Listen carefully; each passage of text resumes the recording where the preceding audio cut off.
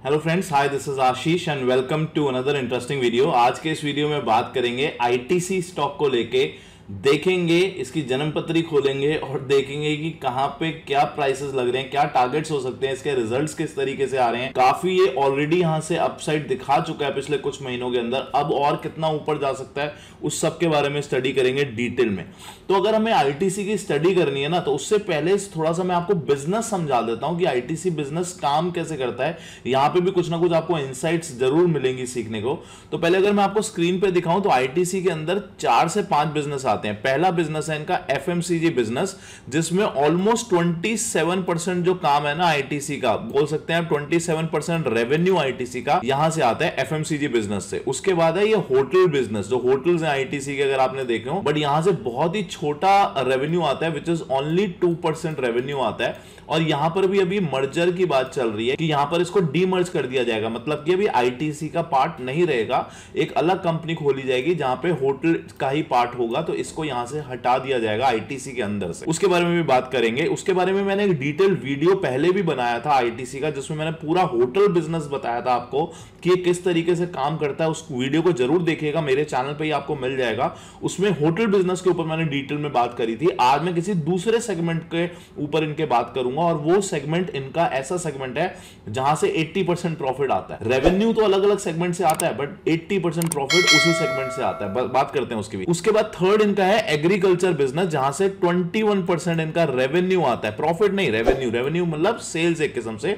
उसके बाद paper products होते हैं पैकेजिंग में जो पेपर्स यूज़ होते हैं ना, यहाँ पर आप देख सकते हैं, यहाँ से भी ऑलमोस्ट 11 परसेंट आता है। तो ये हो गए इनके चार बिज़नेस एक और बिज़नेस होता है इनका, जो कि है सिगरेट बिज़नेस आपने देखा होगा सिगरेट्स आती हैं मार्केट में। मोस्ट ऑफ़ दी जो ब्रांड्स हैं आईटीसी के ही ब्रांड से सिगरेट्स आप देखते हैं मार्केट में।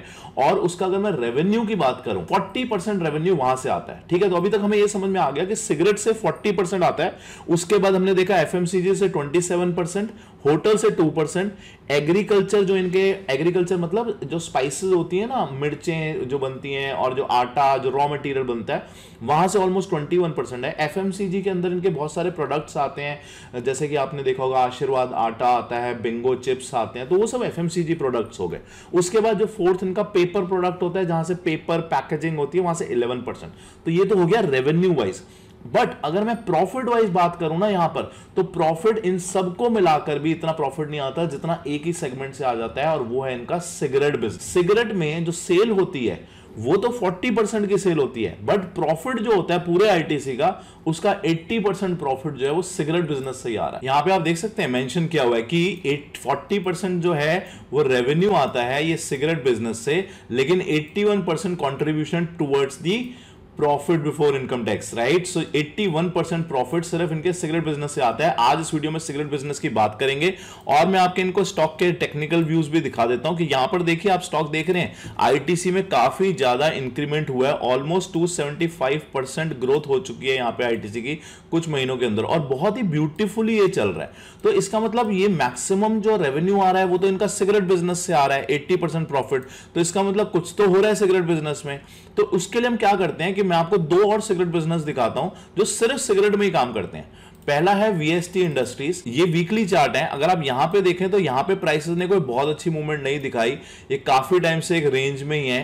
रेंज के बॉटम पे आते हैं तो अपसाइड दिखाते हैं अपसाइड में आते हैं तो डाउन साइड दिखाते हैं। आप देख रहे हैं, ये वीएसटी ये सिर्फ़ सिगरेट बिज़नेस में काम करता है। तो ये तो नहीं चल रहा इतना।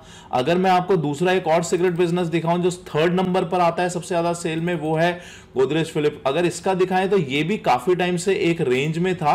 अभी ही इसकी रेंज अगर आप यहाँ पे देखें तो थोड़ी सी ब्रेक हुई है, ये देख रहे हैं आप, एक रेंज में था प्राइसेस और अब रेंज से थोड़ा सा बाहर गए हैं, उसके बाद उन्हीं पे सपोर्ट लेता हुआ फिर यहाँ पर है। बट अभी भी ये वीकली चार्ट है तो आप देख सकते हैं काफ़ी टाइम से ये प्राइसेस भी रेंज पे हैं। तो अब हमें ये समझना इंपॉर्टेंट होगा कि अगर ये दो स्टॉक्स वीएसटी और जो दूसरा मैंने आपको दिखाया, ये दोनों तो सिगरेट में काम करते हैं। तो इनके तो प्राइसेस इतना अप्रिशिएट नहीं हो रहे फिर ऐसा क्या है कि आईटीसी जिसका 80 परसेंट प्रॉफिट सिगरेट से ही आता है, वो इतना क्यों चढ़ता जा रहा है यहाँ पे? उसके दो रीजन हैं सबसे मेन इस चीज़ को ध्यान से सुनिएगा आई थिंक आपको काफ़ी लर्निंग्स देखने को मिलेगी। पहला उसका रीजन है कि इसका जो होटल बिज़नेस है, उसको यहाँ से हटाया जा रहा है। तो उससे क्या फ़ायदा हुआ अगर होटल बिज़नेस हटाया जा रहा है? होटल बिज़नेस आप इस तरीके से समझ सकते हैं कि होटल बिज़नेस में ना बहुत सारी इन्वेस्टमेंट्स लगती हैं। तो लेकिन अभी हमने देखा उसका जो रेवेन्यू है सिर्फ़ टू परसेंट है। तो अगर मेरा एक बिज़नेस है, मेरे बिज़नेस के अंदर आशीष का बिज़नेस मैं चलाता हूँ बट आशीष बिज़नेस के अंदर टेन बिजनेसेस चल रहे हैं, और उनमें से एक बिज़नेस जो है मेरा बहुत सारा कैपिटल मेरे मेन बिज़नेस का ले लेता है, लेकिन वहाँ से मुझे कुछ प्रॉफिट नहीं आता। आप समझ रहे हैं? तो अगर मैं उस कंपनी को आईटीसी से हटा दूँ तो आईटीसी के अंदर तो अच्छा रेवेन्यू मुझे दिखेगा, अच्छे प्रॉफिट्स भी दिखेंगे, क्योंकि वो बिज़नेस होटल बिज़नेस मेरा बहुत सारा पैसा ले लेता है आईटीसी का, क्योंकि होटल बिज़नेस में बहुत सारी कैपिटल की रिक्वायरमेंट होती है। वो एक रीजन है। सेकंड रीजन भी मैं आपको यहाँ पे दिखा देता हूँ। उससे पहले मैं आपको एक चीज़ और दिखाता हूँ कि अभी जो इनके स्टॉक्स है ना, अगर हम स्टॉक्स को यहाँ पे देखें कि टोटल जो टारगेट प्राइस किसी यहाँ पे सोर्स है, कोई इनको आप देख सकते हैं, कोई बहुत बड़े प्लेयर्स हैं ये भी, इनका जो टारगेट प्राइस आया है 530 का प्राइस आया ये बता रहे हैं आईटीसी का। अभी 430 के आसपास चल रहा है। और अगर हम देखें तो उन्होंने बाइफोकेशन भी करा है कि किस सेगमेंट से क्या प्राइस होना चाहिए। तो अगर मैं सिगरेट बिज़नेस देखूँ तो यहाँ से थ्री सेवेंटी रुपीज़ का जो टोटल प्राइस आ रहा है आईटीसी के स्टॉक का प्राइस इस चीज़ को ध्यान से समझिएगा। उसमें से three seventy rupees cigarette business से ही आ रहे हैं। उसके बाद सेकंड है एफएमसीजी बिज़नेस जो इनका अभी हमने देखा आशीर्वाद आटा बिंगो चिप्स बिस्किट्स नमकीन वो सब यहाँ से आ रहा है। एग्रीकल्चर स्पाइसेस से आ रहा है। पेपर प्रोडक्ट और होटल बिज़नेस तो अभी होटल बिज़नेस तो अलग हो जाएगा। और होटल बिज़नेस के ऊपर मैंने इनका डिटेल एनालिसिस किया था लास्ट वीडियो में। वो वीडियो ज़रूर देखिएगा, मेरे चैनल पे आपको मिल जाएगा। बट आज मैं आपको इनके सिगरेट बिज़नेस के ऊपर एनालिसिस करेंगे, क्योंकि main revenue main profit cigarette से ही आ रहा है। तो एक चीज़ मैं आपको यहाँ पे दिखाता हूँ कि सिगरेट बिज़नेस में जो सबसे बड़ी प्रॉब्लम है ना वो है टैक्सेस हमारे यहाँ पर इंडिया में इतने ज़्यादा टैक्सेस हैं अभी, और स्पेशली इन सिगरेट बिज़नेस टोबैको बिज़नेस में, उसकी वजह से थोड़ा सा यहाँ पे कुछ प्रॉब्लम तो नहीं आ रही, या फिर अभी वो टैक्सेस किस तरीके से चल रहे हैं, वो मैं आपको यहाँ पे दिखा देता हूँ। उससे आपको पता चलेगा कि सिगरेट इंडस्ट्री कैसे फोकस कर रही है, क्योंकि मेन तो रेवेन्यू और प्रॉफिट आईटीसी का सिगरेट से ही आ रहा है। तो अगर हम सिर्फ़ सिगरेट बिज़नेस को अंडरस्टैंड कर दें तो हमें एट्टी हमें आईटीसी के बारे में पता चल जाएगा कि क्या होने वाला फ्यूचर में। तो यहाँ पे देखिए एक आर्टिकल है, उसमें मेंशन किया गया है tobacco tobacco industry is booming ठीक है? डिस्पाइट द फैक्ट कि वो एक ह्यूमन बॉडी को फ़र्क पड़ता है बट वो बूमिंग कर रही है। And we are the second largest consumer of tobacco right right? उसके बाद यहाँ पे इंपैक्ट ऑफ़ जीएसटी बताया गया है कि जो टबैको इंडस्ट्री है, उसमें अंदर एक तो जीएसटी लगता है, उसके बाद एक एनसीसीडी टैक्स भी लगता है। और अभी जो एनसीसीडी टैक्स है, उसको यहाँ पे बढ़ा दिया गया है कि अगर आप देखें, यहाँ पे मेंशन किया गया है कि it was propose that NCCD will be revise by upward 16 percent वहाँ पे थोड़ी सी फिर से 16 परसेंट इसको बढ़ाया गया है। बट जीएसटी जो है ना, अगर हम नॉर्मल इंडिया में जीएसटी देखें 18 परसेंट लगता है।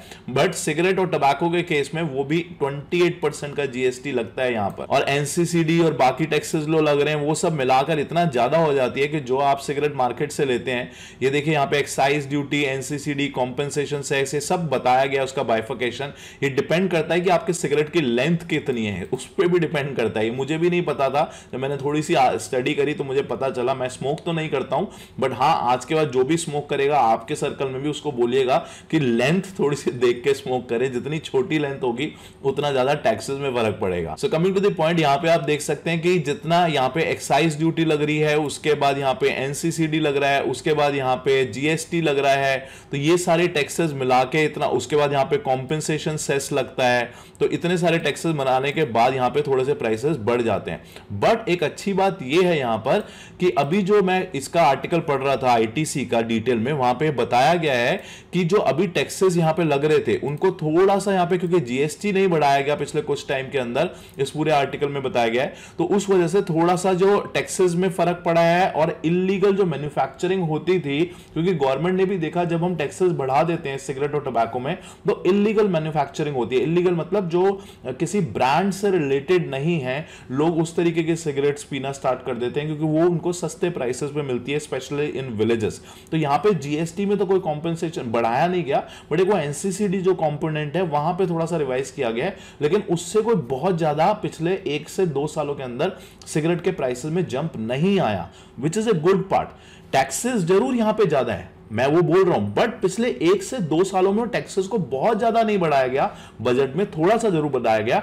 इस वजह से एक ये अच्छी पार्ट है। तो इससे ये पता चलता है कि गवर्नमेंट का जो नज़रिया है, वो ये मान रहे हैं कि ऑलरेडी हम टैक्सेस इतने ले रहे हैं टोबैको के अंदर, अगर हम इसको और बढ़ा देंगे तो हमारे टैक्सेस आने बंद हो जाएँगे इलीगल मैन्युफैक्चरिंग शुरू हो जाएगी। तो इससे बेटर है कि ट्वेंटी बहुत होता है जीएसटी लेना, उतना ही लें, उसको ज़्यादा नाम बढ़ाएँ धीरे धीरे which is a good part मैंने आपको बोला था कि दो रीजन है जिसकी वजह से आईटी आईटीसी के प्राइसेस ऊपर जा रहे हैं। एक तो मैंने आपको बता दिया, होटल बिज़नेस जो अलग हो रहा है। दूसरा रीजन तो आपने पूछा नहीं अभी तक। दूसरा रीजन भी मैं आपको बताया था मज़ाक कर रहा हूँ।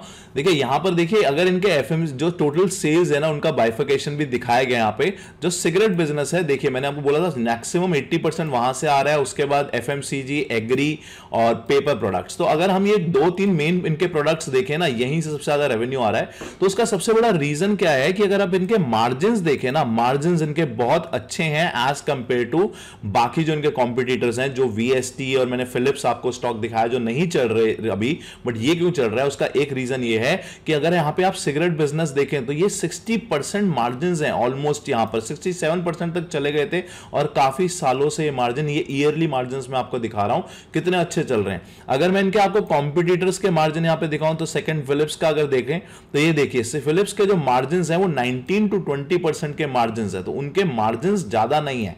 इसी वजह से वो नहीं खेल पा रहे। मार्जिन क्यों ज़्यादा नहीं है, वो भी मैं आपको बताऊँगा डिटेल बताऊँगा फैक्ट एंड फिगर्स के साथ मैं सब कुछ आपको यहाँ दिखाता हूँ। वीएसटी के अगर हम मार्जिन की बात करें तो वो भी ऑलमोस्ट थर्टी परसेंट के आसपास ग्रॉस मार्जिन चल रहे हैं। और ये तो सिर्फ़ सिगरेट में ही काम करता है तो इसीलिए इनका ऑपरेटिंग प्रॉफिट मार्जिन में आपको दिखा रहा हूँ। थर्टी के आसपास है। तो थर्टी वीएसटी का हो गया फिलिप्स का ट्वेंटी के आसपास है। वेयर एज अगर हम आईटीसी का देखें तो सिक्सटी तक यहाँ पे मार्जिन हैं। अब यहाँ मार्जिन अच्छे क्यों हैं? उसका रीजन है, सबसे बड़ा रीजन है ब्रांड वैल्यू तीन चार रीजन है। सबसे पहला reason brand value brand value ITC की इतनी अच्छी है क्योंकि वो अपने प्राइसिंग को ना बढ़ा भी देंगे ना कल को गोल्ड फ्लेक सिगरेट जो है वो आईटीसी की आती है। अगर फॉर एग्जांपल पकड़े वो आठ रुपए की सिगरेट है। अगर वो साढ़े आठ रुपए की भी सिगरेट कर देंगे तब भी लोग आईटीसी ही गोल्ड फ्लेक पी, पिएँगे क्योंकि ये एक ऐसी चीज़ें होती हैं टोबैको बिज़नेस लिकर बिज़नेस ये लोग ना जल्दी से अपने ब्रांड को शिफ्ट नहीं करते यहाँ पर। अगर आप में से भी कोई स्मोक करता होगा या आपके सर्कल में कोई करता होगा तो आप भी इस चीज़ को महसूस कर पा रहे होंगे कि अगर वो बंदा एक ब्रांड की सिगरेट पी रहा है तो जल्दी से दूसरे ब्रांड में शिफ्ट नहीं होता राइट तो आईटीसी के पास ब्रांड है, जिसकी वजह से वो अपने प्राइसिंग पावर में खेलते हैं यहाँ पर। वो अपने प्राइसेस को 10 20 पैसे 40 पैसे बढ़ा भी देंगे तब भी लोग उसी की सिगरेट पिएँगे और वही यहाँ पे आईटीसी कर भी रहा है। पहली चीज़। दूसरी चीज़, उसका डिस्ट्रीब्यूशन नेटवर्क बहुत अच्छा है यहाँ पे, क्योंकि वो एफएमसीजी में भी काम करता है, वो और पेपर प्रोडक्ट्स में भी काम करता है, वो होटल इंडस्ट्री में भी। तो उसको डिस्ट्रीब्यूशन उसके वेंडर्स बहुत हैं, वो ऐसे ऐसे एरियाज़ तक जा सकता है जहाँ पे बाकी उसके कॉम्पिटिटर्स वीएसटी वगैरह नहीं जा पा रहे। उसका डिस्ट्रीब्यूशन नेटवर्क बहुत अच्छा है, जिससे उसकी सप्लाई चेन बहुत अच्छी हो जाती है। तीसरी इंपॉर्टेंट चीज़ कि वो प्रोडक्ट में बहुत ज़्यादा इनोवेशन करता रहता है। उसकी काफ़ी ज़्यादा उसकी बैलेंस शीट में मैंने जाके देखा है, काफ़ी वो नए नए तरीके के सिगरेट्स हर साल ऑलमोस्ट लाता रहता है तीन से चार ब्रांड्स राइट तो इस वजह से ये ब्रांड वैल्यू बन चुकी है आईटीसी की, वहाँ से लोग हिलना नहीं चाहते। उस वजह से कंपनी के मार्जिन बहुत अच्छे हैं। अब एक यहाँ पे मैं आपको और चीज़ दिखा देता हूँ जो मुझे यहाँ देखने को मिली कंपनी की, जो शायद मुझे एक ही पॉइंट लगा, जो इसका नेगेटिव दिखा मुझे, वो है इसका डिविडेंड अगर आप डिविडेंड देखें यहाँ पे कंपनी 2.84 परसेंट का देती है। अब आप बोलेंगे डिविडेंड तो बहुत अच्छा है, आप इसे नेगेटिव क्यों बोल रहे हैं? मैं नेगेटिव इसको इसलिए बोल रहा हूँ कि अगर आप यहाँ पे जाएँगे ना इसकी प्रॉफिट एंड लॉस स्टेटमेंट में तो एक और पैरामीटर हमें डिविडेंड के साथ देखना चाहिए which is called dividend pay out अब ये डिविडेंड पे आउट क्या होता है? डिविडेंड पे आउट मतलब अगर आप देखें कितना नेट प्रॉफिट आ रहा है ना, जैसे कंपनी का नेट प्रॉफिट आ रहा है नाइनटीन थाउज़ेंड करोड़ का, उस नाइनटीन थाउज़ेंड करोड़ में से कितना पैसा कंपनी डिविडेंड के रूप में अपने इन्वेस्टर्स को दे देती है? तो यहाँ पर आप देखें dividend pay out hundred percent है मतलब सारा का सारा नेट प्रॉफिट कंपनी ने डिविडेंड्स में बांट दिया। उससे पहले देखें 93 परसेंट उससे पहले देखें 101 परसेंट तो आप बोलेंगे तो अच्छी बात है। अच्छी बात है डिविडेंड आ रहा है बट इस चीज़ को आप इस तरीके से देखिए कि कंपनी के पास इसका मतलब कोई अपॉर्चुनिटीज़ नहीं है क्या ग्रो होने की? और अपॉर्चुनिटीज़ मतलब कहीं पर वो और पैसा इन्वेस्ट ही नहीं कर पा रहे, उनको कुछ समझ ही नहीं आ रहा, हम और कहाँ इन्वेस्ट करें? तो जो पैसा हमारे पास बच रहा है, हम इन्वेस्टर्स को एज ए डिविडेंड बांट देते हैं। तो मैं एज ए सी देखिए, अच्छी बात भी है बट मुझे हमेशा एज ए स्टॉक मार्केट के इन्वेस्टर के पॉइंट ऑफ़ व्यू से देखना चाहिए कि इसका मतलब कंपनी के पास कोई ज़्यादा अपॉर्चुनिटीज़ नहीं बची, या फिर कंपनी ग्रो नहीं करना चाहती। ये दो रीजन ही होते हैं। जब कंपनी की इन्वेस्टमेंट जितनी हो जाती है। तो यहाँ पर भी मुझे कुछ इस तरीके से दिखता है कि कंपनी के पास शायद कोई बहुत ज़्यादा अपॉर्चुनिटीज़ नहीं बची बट हाँ उसका पहले का बिज़नेस बहुत अच्छा चल रहा है। उसका ही रेवेन्यू सर्कल में चलता रहेगा हर साल तो कंपनी थोड़ा थोड़ा थोड़ा थोड़ा ग्रो करती रहेगी। ऐसी कई कंपनीज़ होती हैं, जैसे कि मैं आपको एक एग्ज़ाम्पल देता हूँ कोलगेट अगर आप कोलगेट का भी डिविडेंड पे आउट देखेंगे तो बहुत ज़्यादा है। बट ऐसा नहीं है कंपनीज़ गलत है बट हाँ उनके पास अब और अपॉर्चुनिटीज़ नहीं है। क्योंकि उन्होंने पूरी मार्केट लेट से इंडिया में हंड्रेड पीपल स्मोक करते हैं एफएमसीजी प्रोडक्ट्स यूज़ करते हैं तो उन्होंने ऑलमोस्ट पूरी मार्केट को कैप्चर किया हुआ है। अब उनके पास और ज़्यादा ग्रोथ नहीं है कैप्चर करने की। I hope it is making sense if it is making sense तो लाइक कर दीजिएगा। तो ये एक अच्छी बात लगी मुझे। दूसरा, अगर मैं स्टॉक की वैल्यूएशन के हिसाब से यहाँ पे बात करूँ थोड़ा सा मुझे अभी भी इन प्राइसेस के आसपास थोड़ा सा कॉस्टली लग रहा है। चीप तो नहीं बोलूँगा मैं कॉस्टली बोलूँगा, क्योंकि यहाँ पर कंपनी की अगर प्राइस टू अर्निंग देखें तो 29 की प्राइस टू अर्निंग चल रही है। पहले तीन साल पहले 20 की प्राइस टू अर्निंग थी, पाँच साल पहले 21 की प्राइस टू अर्निंग्स थी। अर्निंग्स ज़रूर बढ़ी हैं बट क्या इतनी बढ़ गई हैं कि 20 से सीधा 29 की प्राइस टू अर्निंग तीन सालों में आ गई है? इसी वजह से मैं बोलूँगा, थोड़ा सा मुझे यहाँ पे सस्ता नहीं मिल रहा। मैं किस तरीके से इन्वेस्टमेंट करता हूँ? मेरी इन्वेस्टमेंट्स रहती हैं value based invest value based investments का मतलब जो स्टॉक अच्छा है और सस्ते प्राइसेस पे अवेलेबल है। तो ये स्टॉक अच्छा है बट सस्ते प्राइसेस पे तो नहीं है। तो इसीलिए मैं अभी शायद इसमें इन्वेस्टमेंट नहीं करूँगा, ये कोई बाय सेल रिकमेंडेशन नहीं मैं यहाँ पे देता हूँ। गाइस इस चीज़ को एज ए डिस्क्लेमर मानिएगा, कितनी मैंने आपको लर्निंग्स दी हैं तो लर्निंग्स पे फोकस करिए कि किस तरीके से हम स्टॉक्स को पिक कर सकते हैं। अगर आप भी मुझसे वैल्यू इन्वेस्टमेंट सीखना चाहते हैं डिस्क्रिप्शन में आपको डिटेल्स मिल जाएँगी।